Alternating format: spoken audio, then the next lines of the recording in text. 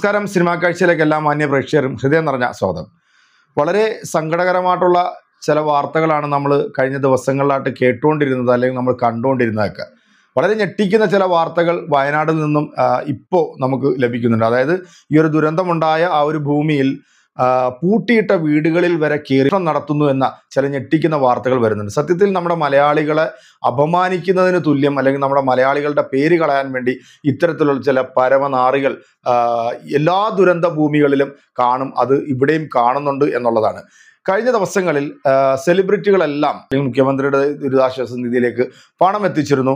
അത് ആദ്യം കൊടുത്തത് നമ്മുടെ സ്റ്റാലിനാണ്. അതിനുശേഷം തമിഴ് നടനായിട്ടുള്ള കമലഹാസനും സൂര്യയും ജ്യോതികയും അവരെല്ലാം അവരെ കൊണ്ടാവുന്ന രീതിയിലെല്ലാം പണം കൊടുക്കുന്ന സമയത്ത് നമ്മുടെ മലയാളത്തിന്റെ മഹാനടനായിട്ടുള്ള മമ്മുക്ക കൊടുത്തു ദുൽഖർ സൽമാൻ പതിനഞ്ച് കൊടുത്തു ഫഹദ് ഫാസിൽ ഇരുപത്തഞ്ച് കൊടുത്തു ടൊവിനോ ഇരുപത്തഞ്ച് കൊടുത്തു. അങ്ങനെ എല്ലാവരും കൊടുക്കുന്ന കൂട്ടത്തിൽ നമ്മുടെ ലാലേട്ടൻ കൊടുത്തില്ല എന്ന തരത്തിലുള്ള ചില വാർത്തകൾ സോഷ്യൽ മീഡിയയിൽ സജീവമായി നിൽക്കുമ്പോഴാണ് നമ്മുടെ ലാലേട്ടൻ വയനാട് സന്ദർശിക്കാനായിട്ട് നാട്ടിലേക്ക് എത്തിയത് തന്നെ ആ മിലിറ്ററി വേഷത്തിൽ തന്നെയാണ് എത്തിയത് നമ്മുടെ മേജർ രവിയും റിട്ടയർഡ് ആണ്. അദ്ദേഹവും ഈ മിലിറ്ററി വേഷത്തിൽ തന്നെയാണ് എത്തിയത്. അപ്പോൾ ആ ഒരു വേഷത്തിൽ ഈ ദുരന്തഭൂമിയിലേക്ക് എത്തുമ്പോൾ അതിനെ വിമർശിക്കുന്ന ചില ആൾക്കാരോട് എനിക്ക് പറയാനുള്ളത് നമുക്ക് വിമർശിക്കാനായിട്ടുള്ള ഒരു സമയമല്ല ഇത്.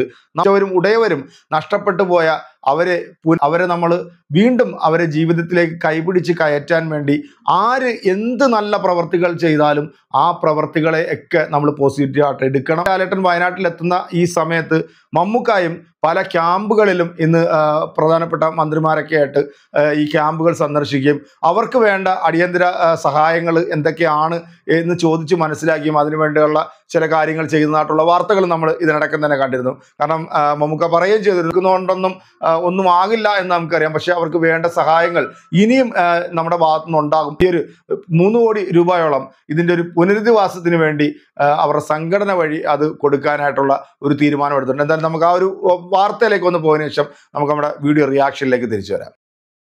മൂന്ന് കോടി രൂപയുടെ ഒരു പ്രോജക്റ്റ് ഞങ്ങളിപ്പം അനൗൺസ് ചെയ്യാണ്. അതായത് നമ്മുടെ രാജ്യം കണ്ടതിൽ വെച്ച് ഏറ്റവും സങ്കടകരമായ കാഴ്ചകളാണ് കഴിഞ്ഞ കുറച്ച് ദിവസങ്ങളായിട്ട് ടി വിയിലും അതിലൂടെ വാർത്തകളിലൂടെ ഒക്കെ അറിയുന്നത്. വളരെ സങ്കടകരമായ കാര്യമാണ്. അത് അവിടെ പോയി കണ്ടു കഴിഞ്ഞാലേ മനസ്സിലാവുള്ളൂ അതിന്റെ വ്യാപ്തി. ഒരുപാട് പേർക്ക് നിമിഷ നേരം കൊണ്ട് കുറ്റവരെയും ഉടയവരെയും വീടും സ്വത്തും എല്ലാം നഷ്ടപ്പെട്ടു. പക്ഷെ നമ്മളെല്ലാവരും ഒരുമിച്ച് ചേർന്ന് അവരെ സഹായിക്കുന്നു എന്നുള്ളത് വലിയ കാര്യമാണ്. അതിലെടുത്തു പറയാവുന്നതാണ് Indian army navy air force fire and rescue N D R F police അതുപോലെ ഹോസ്പിറ്റൽ ഡോക്ടേഴ്സ് സന്നദ്ധ സംഘടനകൾ സാധാരണ ലോക്കൽ ആൾക്കാർ ഈ ഒരു കല്ലെടുത്ത് മാറ്റിവെക്കുന്ന ഒരു ഒരു കുട്ടി പോലും ഇതിന്റെ ഭാഗമായി മാറുന്നു. ഈ കാണാൻ കണ്ടെത്തേണ്ടതുണ്ട്. നമുക്ക് പ്രതീക്ഷിക്കാം അവരത് കണ്ടെത്താൻ സാധിക്കട്ടെ എന്ന് സ്ഥിതിഗതികൾ നിരീക്ഷിച്ചതിന് ശേഷം വീണ്ടും ഇവർക്ക് എന്തെങ്കിലും പണത്തിന്റെ കാര്യങ്ങൾ ആവശ്യമുണ്ടെങ്കിൽ വിശ്വശാന്തി ഫൗണ്ടേഷൻ വീണ്ടും പണം കൊടുക്കുന്നതാണ്. അപ്പോൾ നമ്മളൊരു മൂന്ന് കോടി രൂപയുടെ ഒരു ഒരു ഒരു പ്രോജക്റ്റ് ഒരു ഒരു ഒരു പുനരുദ്ധാരണ പ്രോജക്റ്റിന് ഞങ്ങളിപ്പം പിന്നെ എന്താണ് അനൗൺസ് ചെയ്യാണ്. ഞങ്ങൾ ഇവിടെ വെച്ച് ചെയ്യാൻ. ഞാൻ അതാണ് നമ്മുടെ ആർമിയിൽ എല്ലാവരെയും ഇതിൽ നമുക്ക് പിന്നെ അത് ഒരാളെ എന്താ എങ്ങനെ നന്ദി പറയേണ്ടതെന്ന് അറിയില്ല അവരുടെ അവർ ജീവൻ പണയം വെച്ച് മറ്റൊരു ജീവനെ രക്ഷിക്കുക എന്ന് പറയുന്നത് അതാണ് ഇതിലെല്ലാം ഇതിന്റെ എല്ലാ കാര്യങ്ങളും മറന്നുകൊണ്ട് ഒരു സഹായിക്കുക എന്ന് പറയുന്നത് ഒരു വലിയ കാര്യമാണ്. ലാലേട്ടൻ സ്ഥലം ലാലേട്ടന് അറിയുന്ന ഒരു സ്ഥലമല്ലേ? അപ്പോൾ അതുകൊണ്ട് തന്നെ പ്രത്യേക ഇമോഷണലി ഒരു ഇല്ലല്ലോ ഇത് ഏത് സ്ഥലമായാലും ഇമോഷൻ ഒരുപോലല്ലേ തീർച്ചയായിട്ടും പക്ഷേ നമ്മൾ മുകളിൽ പോയി കാണുമ്പോഴാണ് ഇതിന്റെ വ്യാപ്തി മനസ്സിലാക്കുന്നത് ഇപ്പോഴും ദുരന്തമായി പ്രഖ്യാപിക്കേണ്ടതല്ലേ? അതൊക്കെ തീർച്ചയായിട്ടും അത് എങ്ങനെയാണ് വരേണ്ടത്? അതാണ് ഞാൻ പറയുന്നത് ഇന്ത്യ കണ്ട ഏറ്റവും ഒരു ദുരന്തങ്ങളിൽ ഒന്നാണ്. തീർച്ചയായിട്ടും അത് മിസ്റ്റർ മേജർ രവി വിശ്വശാന്തി ഫൗണ്ടേഷന്റെ ഒരു ഡയറക്ടറാണ് അദ്ദേഹത്തിന് എന്താ പറയാനുള്ളതെന്ന് വെച്ചാൽ കേട്ടോ. അത് അനൗൺസ് മാത്രമല്ല അദ്ദേഹം ഇതുപോലുള്ള ഒരുപാട് കാര്യങ്ങൾ പ്രവർത്തിച്ച ആളാണ്. ആർമിയിൽ ഒരുപാട് വർഷം ഉണ്ടായിരുന്ന ആളാണ്. വിശ്വശാന്തി ഫൗണ്ടേഷന്റെ മാനേജിംഗ് ഡയറക്ടർ എന്ന രീതിയിൽ അദ്ദേഹം അനൗൺസ് ചെയ്തിട്ടുള്ള ഈ മൂന്ന് കോടി എന്ന് പറയുന്നത്. ഇത് വളരെയധികം മനുഷ്യസ്നേഹികളായിട്ടുള്ള കുറേ ആളുകൾ ഞങ്ങളുടെ വിശ്വശാന്തിയിലോട്ട് ഒരുപാട് പേര് ഒരുപാട് പേര് തയ്യാറായിട്ടുണ്ട്. തയ്യാറായിട്ടുണ്ട്.